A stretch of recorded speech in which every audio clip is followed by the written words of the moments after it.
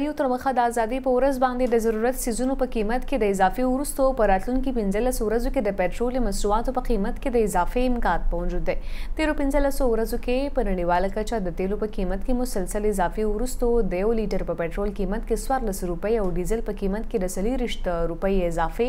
امکان موجود دی حکومت د دوه زره دوه ویشتم